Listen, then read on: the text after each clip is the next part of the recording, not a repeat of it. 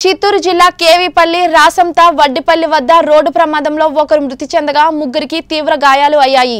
రాసంత వడ్డిపల్లి సమీపంలో నలుగురు వ్యక్తులు రోడ్డు పక్కన వారి ద్విచక్ర వాహనం పక్కన కూర్చుని మాట్లాడుతుండగా రాయచోటి నుండి అటుగా వస్తున్న వాహనం అదుపు తప్పి ఆ నలుగురు వ్యక్తులపై దూసుకుపోయింది.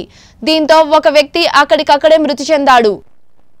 ఈ సంఘటన చూసిన స్థానిక వ్యక్తి హుటాహుటిన వన్ నాట్ ఎయిట్ వాహనానికి సమాచారం అందించి వారిని పీలేరు ప్రభుత్వ ఆసుపత్రికి తరలించారు. ప్రథమ చికిత్స అనంతరం తీవ్రంగా గాయపడ్డ శతాగాతులను తిరుపతి రుయా ఆసుపత్రికి తరలించారు. కేవీపల్లి ఎస్ఏ బాలకృష్ణ కేసు నమోదు చేసి దర్యాప్తు చేస్తున్నారు.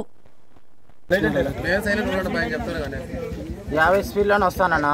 వాడు గుంత ప్లెయిన్గా ఉన్నది రోడ్డు. ప్లెయిన్గా ఉంది వస్తానా గుంత పెద్ద గుంత అది. అది గుంతలో స్టీరింగ్ కంట్రోల్ అవ్వలేదు. బ్రేక్ కొట్టినా బ్రేక్ స్కిడ్ అయిపోయింది. అందువల్ల